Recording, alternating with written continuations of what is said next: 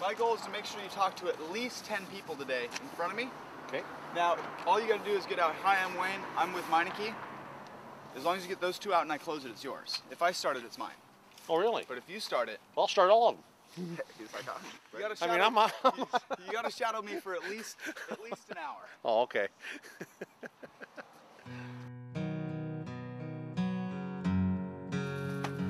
so you see the no No, they're my favorite. The scariest thing is probably I have no concept of what it is to go door to door. And so yeah, I'm not too scared, but that would be the, the scariest thing I think.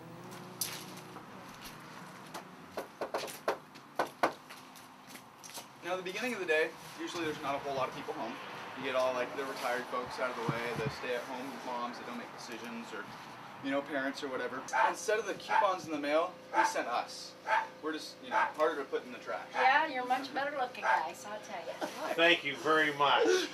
I haven't heard that in maybe I never heard that. Two seconds now. Um, well, uh, if we had an amazing value on your oil changes to come try out the local mechanic, is that something that you would make a decision on, or is that like a hubby department?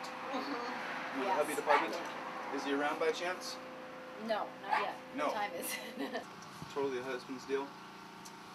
Um, so if I had a really awesome value, that would be totally his department. It would. It would. Is he home by chance? No, he isn't. So kid, can the kitty go out? If they say no, I'll be like, okay, I can't do this. Closer, please close that for me.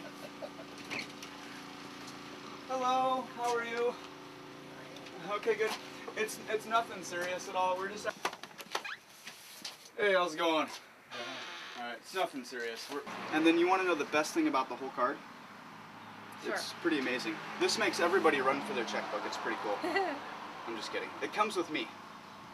So you can Oh. always remember me coming by. I can even sign it. Wow. How many vehicles do you guys have? All right, you have a good day, sir. Not the happiest gentleman. Hello. Hi, it's nothing serious. Sorry to catch you right when you're pulling up. And uh, you kind of got to pace yourself a little bit. You don't want to go too much at the very beginning of the day because most of your money making time is at the end of the night. That's when all the breadwinners and decision makers get home. And so usually when like five, five to six o'clock pick up, right around those hours, usually when you'll see me pick up the pace and start walking a lot quicker. So I walk quick anyway, so you guys will have fun trying to keep up with me. Well, if we walk too quick, I'm gonna have some chafing issues. They figure that deciding to spend ten dollars a change doesn't break that original agreement. And so a lot of people just make a decision on behalf of the household to save the household money and pick it up from me. And I'm not doing this. Uh-huh. Um, but there is actually one more thing that I ask you to throw on your end of the deal. Okay. If you could, along with the check for the seventy-nine ninety-five, do you suppose you could throw in like maybe a small glass of water for me? The most supportive person was my wife, Pam. She's behind it. She knows that uh, I kind of trust God in my decisions I make in my life, and when I felt that that was the leading, she was behind 100%. Plus, uh, she started adding up some numbers, and uh, I came here one day with her, and the salesman talked about how much money he made that day, and she said, "Why don't you start today?" So she's uh she's excited about the possibilities financially, but uh, she's always been supportive of what I like to do.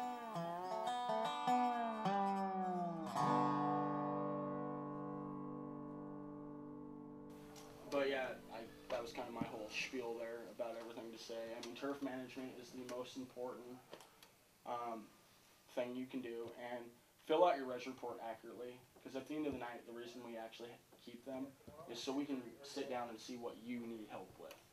Now that coach is on board, he's probably going to be doing a lot of that. Mr. Inspirator. Sorry, I just had to make. I gotta call Is that you a out word? What is that? Inspirator, is that bad? No, it's actually a good thing. Every time you come here, I, I, I've been waiting for this day for ever since I found out you were coming on board with us. Thank you. I hope one day that I get to go knock some doors with you. If you have a piss poor attitude, you're not going to make very many sales. And a lot of people do a whole bunch of different things to actually keep your attitude. Myself, I whistle, he skips. Um, one day.